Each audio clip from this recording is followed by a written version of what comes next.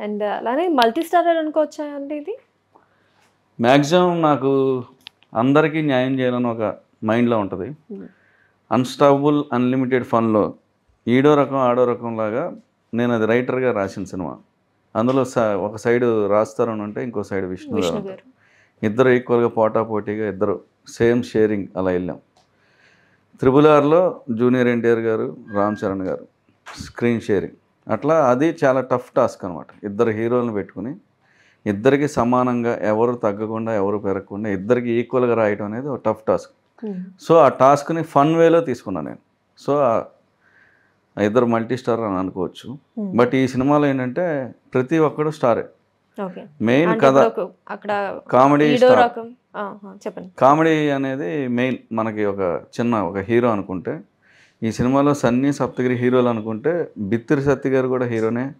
చెమ్మక్ చంద్ర గారు కూడా హీరోనే శకలక శంకర్ కూడా హీరోనే. సో ఆల్ క్యారెక్టర్లు అందరూ ఒక్కొక్క పది నిమిషాలు అలా సడన్గా వస్తారు మళ్ళీ వాళ్ళు ఎక్కడో కలుస్తారు.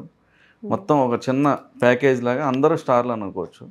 మెయిన్ ఇంతమంది స్టార్లు నాకు ఇచ్చిన మా ప్రొడ్యూసర్ రజిత్ రావు గారు ఒక మెయిన్ హీరో అనుకోవచ్చు. సో మల్టీ స్టారర్ కంటే many starrer movie. Many IPL team అనుకోండి.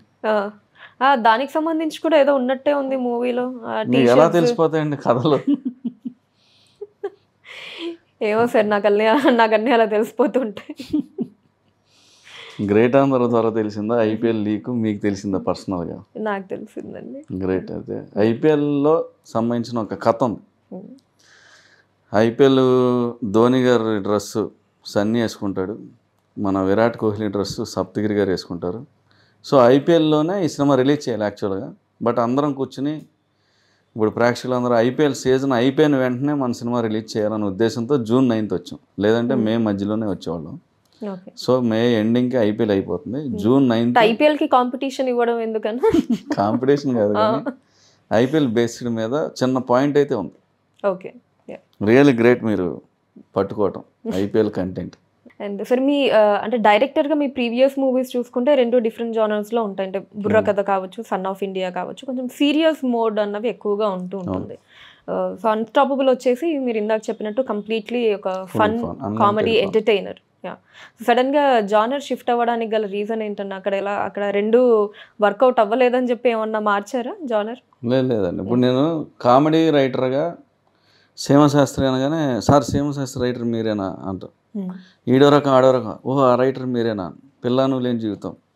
పాండవులు పాండవుల తొమ్మిద ఇట్లా ఫన్ మనం రాసుకున్నవన్నీ ఫన్ జానర్లు అన్నీ సక్సెస్ అయ్యాయి సో ప్రయోగాలు ఎందుకు అని చెప్పి ఉద్దేశంతో ఫన్ జానర్ అంటే ninety nine point nine nine nine percent Bata rate లాగా అది ఫన్ ఎలిమెంట్ అని వచ్చేది అన్నీ సక్సెస్ అవుతాయి. ఇప్పుడు ఫర్ ఎగ్జాంపుల్ అన్స్టాపుల్ షో దానిలో చన్ మోర్ ఫన్ యాడ్ అయింది. అది సక్సెస్ అయింది.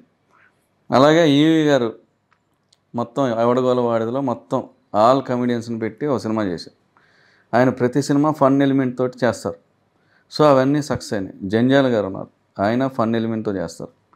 మన రోహిత్ శెట్టి గారు ఉన్నారు బాలీవుడ్ ఆయన ఫన్ ఎలిమెంట్ చేస్తారు. సో ఫన్ నా బలం కదా. ఈసారి పెన్నులో ఫన్ను నింపుదామని చెప్పి బాగా ఫన్ను కుక్కి కుక్కి కుక్కి ఇంతమంది ఆర్టిస్టులు పెట్టాం.